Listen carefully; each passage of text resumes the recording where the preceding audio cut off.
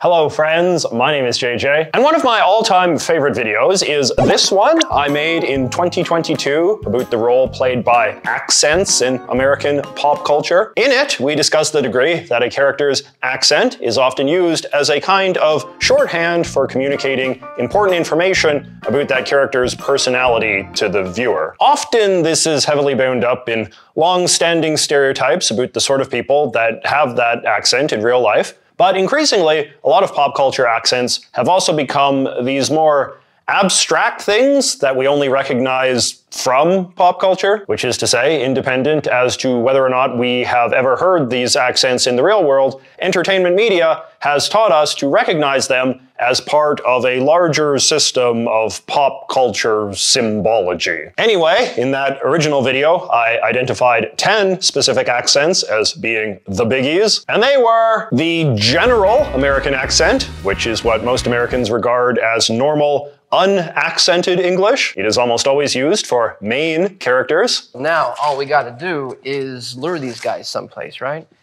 Try to cure them while they try to kill us and then send them home. Using a magic box. Well, that's the plan. You let them handcuff you? Wouldn't be much of a surrender if I resisted. The New York accent, which is used to communicate that a character is tough, aggressive, or a bit of a bully. Okay, wise guy. Where's the rabbit? Haven't seen it. What's in there? My lingerie. Is your refrigerator running? Why, yes. Well, you better go and catch it. Biggest puddle in them all, Angel Fangs. The Atlantic Ocean. Technically, the Pacific is larger. Well, that goes without saying. The Southern accent, which is mostly used to communicate the idea that a character is rural, hickish, and usually quite stupid. Not a Jerry I know. Took me to Merry Christmas. Which is a strip club. Merry Triple Xmas. Oh well, when I have a Chipotle blue cheese bacon burger at Bennigan's, I'll forget all about my dad being queer and my mom trying to kill me. I'm gonna be okay. Really? No, I'm Flint-hearted Now, now, now, now, save your sermon, preacher. It ain't Sunday, you know. But a more refined sort of Southern accent can also be used to communicate the idea of a character who is regal and formal, though usually in a somewhat suspicious or sinister way. Look at all these little things. So busy now. Notice how each one is useful. What a lovely ballet ensues, so full of form and color. Then there is the ESL accent, which is to say the accent of a character who speaks broken English in some way, but not necessarily in a way that associates him with a specific foreign place. Characters who speak broken English in this way are usually portrayed as being clueless and dopey and often quite naive. Saban Mosby's yelling for you. For me? He never yells for me. He yells at me, but only when I deserve it, which is often. He's a great man. How many times must Rose purge himself? No strange visitors ever! Do not burn the candle at both ends, as it leads to the life of a hairdresser. Me know which shape me like best for cookies. Ha ha ha. Oh, tummy shaped. The African American accent, which when used for non-black characters, associates a character with stereotypically black personality traits, usually being cool. You deadbeats are under arrest. It's a stone cold shame. Who's the host with the most? Hmm? You are, you handsome devil. Mwah. Oh, you're terrible. The preppy New England accent, which is often used for characters who are intelligent, but also very snobby and usually rich. Uh, pardon me, old man, but the French onion soup is a bit off. Take it back or I'll rip you in half. Are we simpatico? Oh, absolutely, sir. I'm sorry, sir. You're very masterful with the help. Friendly, but never familiar. That's what Dad always said. The British accent, which in American media is also often used for characters who are snobby and intelligent, but also characters who are powerful and sinister. Since you are reluctant to provide us with the location of the rebel base, I have chosen to test this station's destructive power on your home planet of Alderaan. These people are traitors and must be made examples of. With all due respect, sir, I was not trained to murder the innocent. But you were trained to follow orders. Of course we will eat the mice, but only after we have exploited their labors. The Midwestern accent, which is popular for naive, middle class female characters. A ah, gift? How delightful! Oh, you won't like it. I'll, I'll take it back. Oh, don't be ridiculous. It's nothing. Really. Oh, I'm sure it's delightful. I'm sure it's. Oh, it's beautiful. An udder warmer. It's wonderful. I just don't know what to do with you. You're getting very poor marks in school, and the teachers are complaining that you aren't paying attention. Yeah. The California Valley Girl slash surfer dude accent, which is common for young characters who are supposed to be hip, but also kind of airheaded. And it's like when I had this garden party for my father's birthday, right? I said RSVP because it was a sit down dinner. But people came that like did not RSVP. So I was like totally bugging. Because I think Tony has a right to know, Stephanie. Nuh-uh, Miranda. I do not like Tony. No, Jessica. Don't chill Tony with me. Those aren't clues, Scoob. Those are just things you want. Like, why is a toilet brush a clue? Scooby Dooby Doo. Doo dooby Just because you can sing it at Scoob doesn't make it a clue. It just makes it awesome. and the Jewish New York woman accent, which is often used for female characters who are sort of bossy and naggy and overbearing. Oh, too bad. You know, when Laverne's son Ira got married, a professional photographer made such a lovely wedding album. Hmm. And Ira's bride looked so slim. I can't believe it took you so long to see the baby. I kept saying to Michael, when is Jerry going to see the baby? I was saying the same thing. Let's take a picture. Michael, get the camera. Uh, you don't have to take a picture. I don't know where it is. It's in the bottom drawer of our dresser. Hurry up! He's such an idiot. You guys liked that video a lot, and I feel like I did a pretty good job deconstructing this important aspect of American pop culture semiotics. But you guys were also quick to notice that there are a few other very important accents that I failed to mention. So today I thought it might be fun if we analyzed an additional 10 accents that play an equally important role in American pop culture. Okay, so the biggest accent that most of you said I missed is the so-called mid-Atlantic or transatlantic accent. This describes a very formal, proper way of speaking English that gets its name from the idea that it is sort of half American and half British. It is often said to be a very affected, somewhat unnatural accent that you don't hear much these days, but was historically encouraged by snobby Anglophilic institutions on the east coast of the United States, like boarding schools, etiquette coaches, and acting classes. The actress Katharine Hepburn, who grew up in this sort of milieu and was known for playing very elegant, cold characters, is probably the person most associated with this accent. Hello. Fancy seeing you here. Orange juice? Certainly.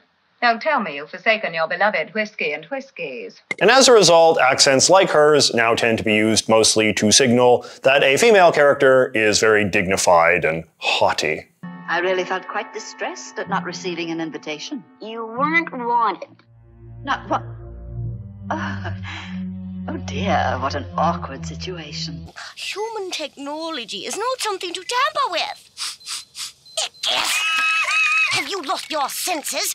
This is human food. It can be very, very dangerous. The mid Atlantic accent can be a bit challenging, though, because it often kind of drifts into the New England snob accent I mentioned earlier, particularly when it comes to men. Frasier, from Frasier, for instance, I have heard described as having both a mid Atlantic accent and a New England snob accent, both of which would be consistent with his character. As a matter of fact, I'm going to call the gentleman that I manhandled and and apologize to him for not having worked out our dispute in in the right way in the first place, through words. The key here is restraint.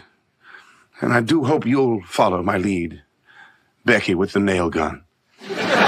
Another one that evolves out of this larger cultural geographic tradition is a certain sort of fast talking, old timey accent. It combines elements of New England accents with the quick talking, sort of phony sounding way that actors used to speak in old black and white movies. It is now most often used to just signify a character who is sort of old fashioned in some way. I recently became aware of that creepy Muppet themed ARG Welcome Home, and the shopkeeper character in that has this sort of accent. Howdy do, fellas. Care to let me share my wares? In the classic Simpsons episode, where Homer becomes the beer baron, the special investigator who is dispatched to Springfield speaks this way as well to emphasize how out of touch he is. I'm happy to report that the flow of illegal liquor seems to have dried up.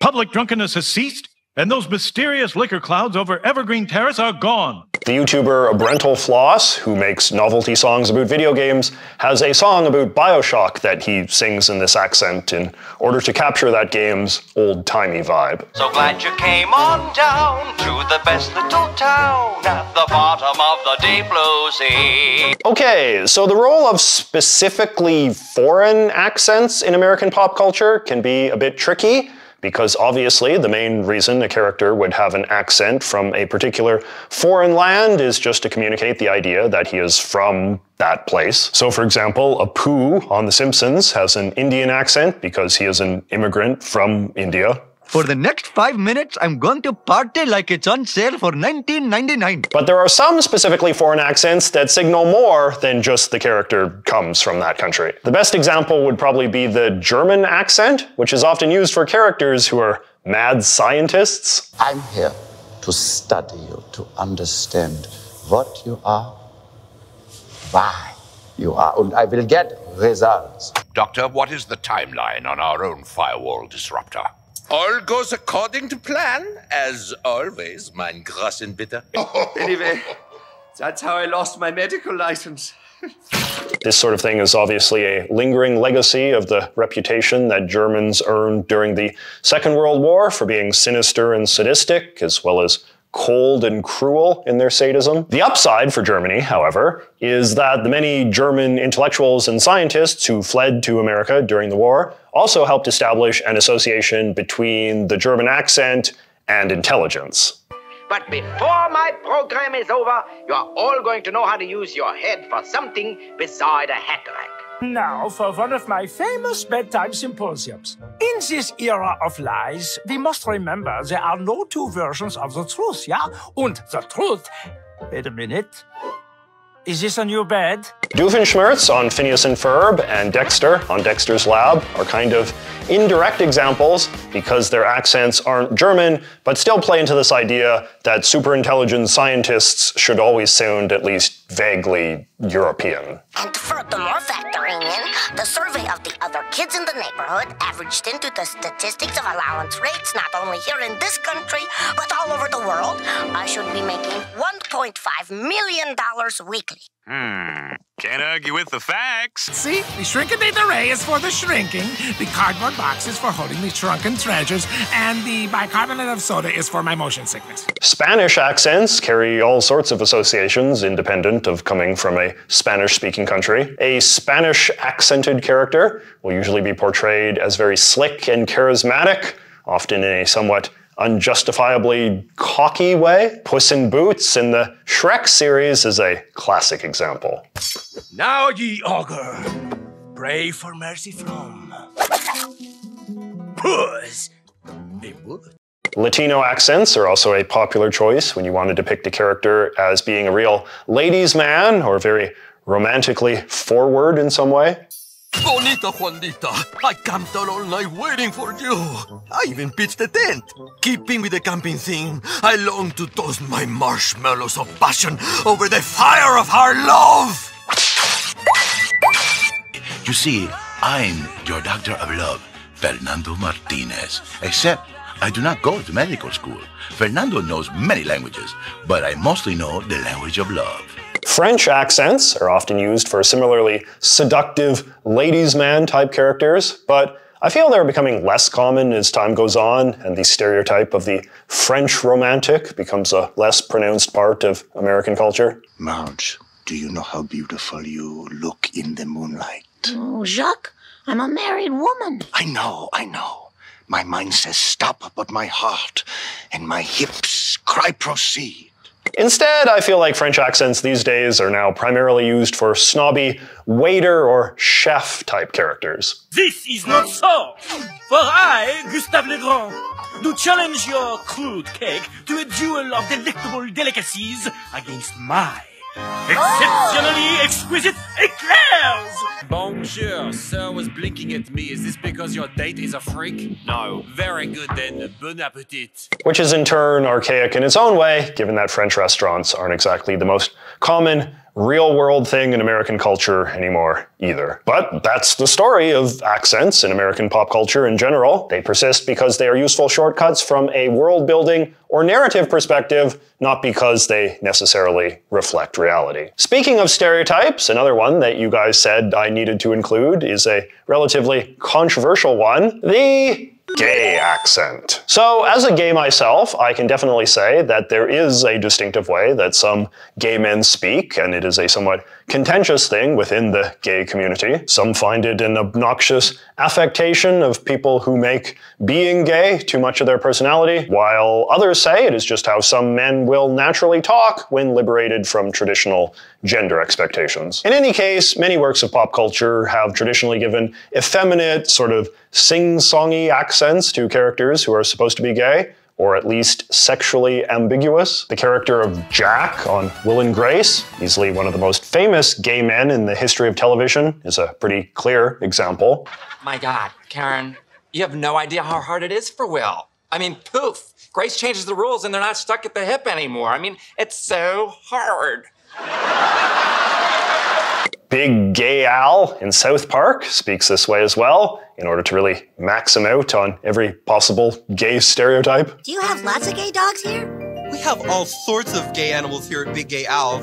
Over here we have a gay lion. Roar. And we have gay water buffalo, gay hummingbirds. Here's a gaggle of gay gooses. Hi, fellas. It's so super to see you. This is kind of an obscure one, but I remember there was a genie character in one episode of Rocko's Modern Life that had this accent too. I've got to get cleaned up. Did someone say clean? Who are you? I'm Clean Gene, the hygiene machine. I can help you with your problem, dirt, and you do have a dirt problem. Let's hose you. Cupid in Fairly Odd Parents speaks this way, which I always thought was a kind of fun subversion for a character who embodies romance while also being a little bit edgy for a kid's show. Sir, the cherubs have lost the love. Launch the Thunder Hearts. Divert all emergency energy to my coffee machine and find me the dope who is responsible for this latte. It's fabulous. Now, the gay voice might not really be an accent per se, given it's not rooted in geography the way that most accents are, but it definitely functions as a pop culture accent of the sort we're talking about today, in the sense that it is an identifiable speech style used in the media to communicate a specific identity. In that sense, we could perhaps compare it to the American nerd accent, which is that super nasally or lispy style of speaking, often given to really dorky characters to express just how dorky they are. Hey, George!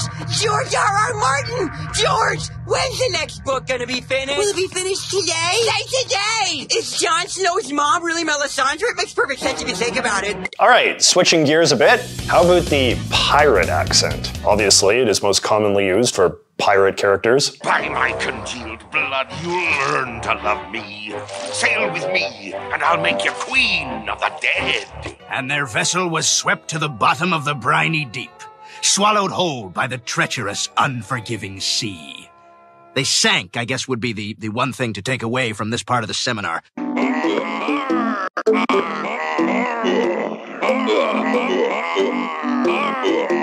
But you do also see it used once in a while just for a sort of gruff type character, like Mr. Krabs in SpongeBob. Some would try and take advantage of this situation by selling them toys or candy. But I sleep well at night with the knowledge that I'm providing them with something they need. a nutritious meal. Come here, you little piggies! Or Hagrid in Harry Potter. He's going to the finest school of witchcraft and wizardry in the world, and he will be under the finest headmaster that Hogwarts has ever seen Albus Dumbledore. The Hagrid example is revealing because in the UK, this way of talking is just a normal regional accent. So, how did it become associated with pirates? Well, the backstory is pretty interesting. Treasure Island was a very popular pirate movie released in 1950 and it starred the British actor Robert Newton as Long John Silver. Sometimes them what quotes the Bible has less Bible in their hearts than them what don't. But I can say one thing, Parry lad. I admire your honesty. And thanks to the popularity of that film, after it came out, anyone who wanted to do an impression of a pirate would just do an impression of Robert Newton. It's sort of like how when people do a vampire accent, they are actually doing an impression of Bela Lugosi. I bid you welcome. And in both cases, the accent has survived in the popular imagination long after memories of the original actor have faded. Anyway, Robert Newton was from southwestern England, and as a result, he spoke with what I believe the Brits call a West Country accent, which is how millions of perfectly ordinary non-pirate British people speak every day. For example, on the YouTube channel Eat, Sleep, Dream English, I found the following clip of British pseudo-celebrity Josie Gibson, who comes from southwestern England, and she has what I think a lot of us over here would recognize as a pirate accent, which can sound a little bit jarring when it is coming from an attractive young woman. Are you still in touch at all? Oh, I'm such an Aquarian. I can never let things go. So we'll have a we'll talk, and then I'll say, "Remember when you did this, this, and this, and this, and back in 1985 you did this." Yeah. So um, yeah, Is that why you're single now? Probably. I wonder what people over in her part of England think of Talk Like a Pirate Day. So, just as Robert Newton inadvertently influenced the mainstream American understanding of what a pirate sounds like, I wanted to close out this video with a couple of other examples of celebrity impersonations that have evolved into what we could describe as exclusively pop culture accents, which is to say, styles of speaking that you will never encounter in real life, but are nevertheless highly familiar ways of infusing a certain sort of personality into a fictional character. A key example would be impressions of Peter Lorre, who was a character actor in the 1930s and 40s, known for his somewhat unsettling voice. And you weren't killed? For a long time, no one was sure. Even though Peter Lorre is increasingly forgotten these days, impersonations of his distinctive voice remain popular to use for creepy characters, particularly characters associated with the undead in some way. A lot of people would probably think of this as like the Igor type accent, given it is very popular with Igor type characters.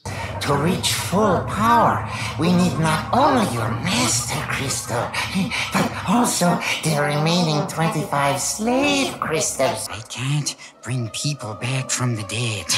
It's not a pretty picture. I don't like doing it. Master, the plan. Ed Wynn was a very flamboyant comedian, also popular in the 30s and 40s, who had a very distinctive hammy way of speaking. First, she married the Earl of Kensington in London, and 500 miles north of London, she married the Earl of Gloucester, and 500 miles west of there, she married another Earl. Thank goodness she changed her Earl every 500 miles. He later did some work as a voice actor, with his most famous role being the Mad Hatter in Walt Disney's Alice in Wonderland. My goodness. We'll have to look into this. Aha! I see what's wrong with it. Why, this watch is full of wheels. And since then, there has been a trend of actors doing a similar sort of flamboyant voice for goofy characters who have a couple of screws loose. Is that a threat I smell? You're beyond the halitosis you so obviously suffer from. I've got something for you! A metal shoe! Don't you know, you might stub your toe! I'm Dr. Weirdly, and welcome to my Bizarratorium. Here, you'll find curios of the odd and peculiar. And lastly, a more modern celebrity impersonation that has sort of taken off and become its own thing would be the Jack Nicholson voice. He is getting pretty up in years now, but at one time he was very much Hollywood's go-to guy for playing sly or conniving characters. You want me to hold the chicken, huh?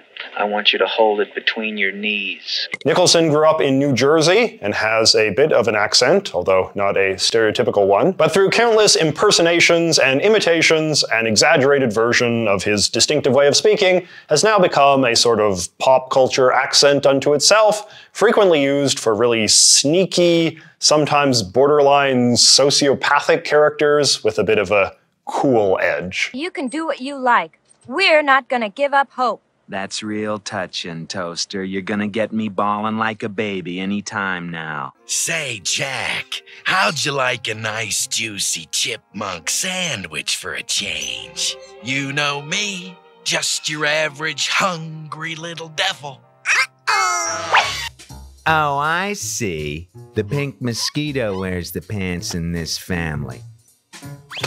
Fine, I'm taking it to the street. So, parting question for you. Can you give me some more specific character examples of the different accents and voices that we've talked about today? I would really like to make a comprehensive list of some of the best instances of an accent being used to infuse a very particular personality into a character. But unfortunately, I just don't consume enough pop culture stuff these days, so my frames of reference can be a little limited or dated. I would also be curious to know if you guys have any other good examples of the whole celebrity impersonation slowly mutating into generic pop culture accent phenomenon. I feel like this might be a rich enough topic to deserve its own video someday. But anyway, help me out in the comments below, and I will see you next week.